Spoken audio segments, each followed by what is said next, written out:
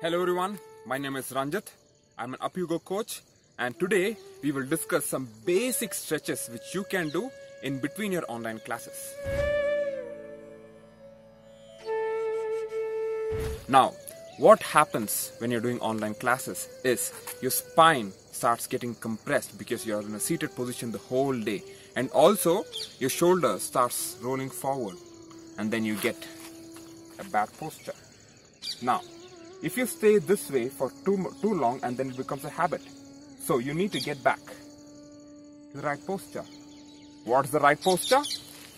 Your ear, your shoulders, your hips should all be in a straight line when you're standing comfortably.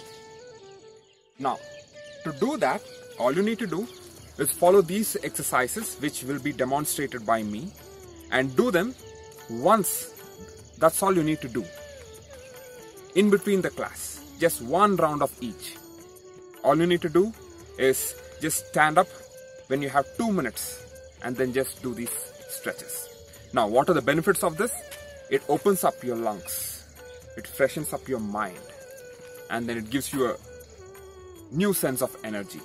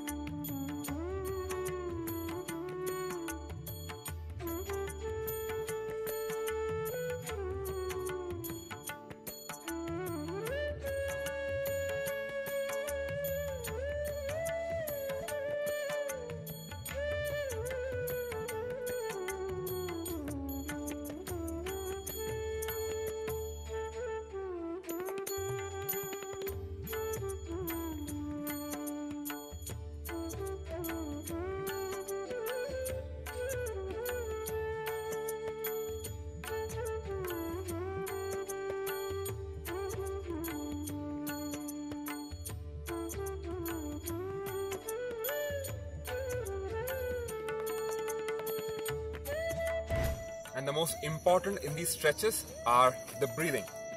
Make sure you exhale with your mouth closed and through your nose. And that movement which I'm doing, we will call it the pump. Alright?